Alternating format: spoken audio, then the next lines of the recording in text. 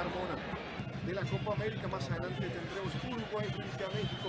También en esta pantalla. de- de-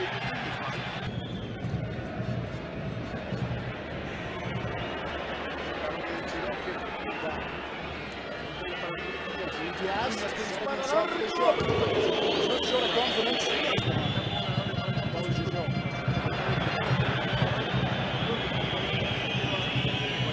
de Cristian Ramos. Ahora por derecha intentaba. Este que ha sido el jugador más incisivo del equipo peruano. Hablamos de William Chiroque.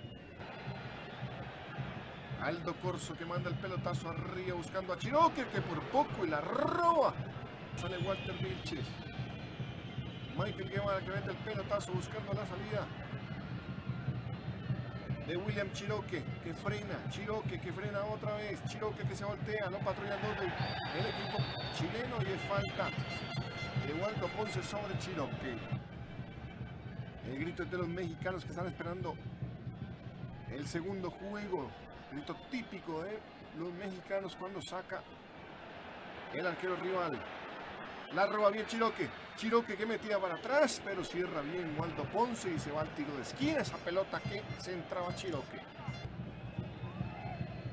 Lobatón.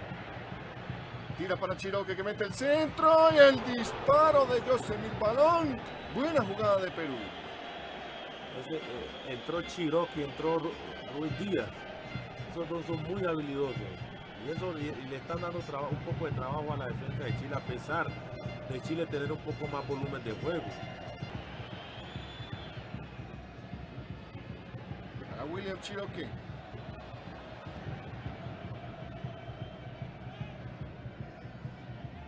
Lo choca Reboredo. Sánchez. Lobatón. Chiroque.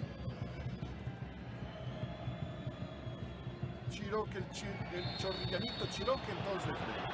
Sí, sí, sí. sí. Muy parecido ese fútbol. ¿eh?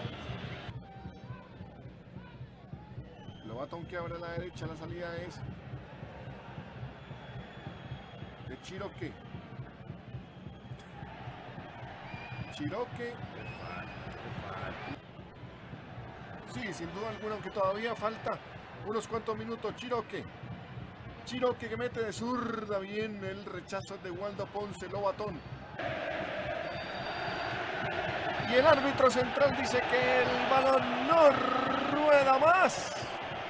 Chile con un autogol de André Carrillo. Le gana al equipo peruano 1 por 0.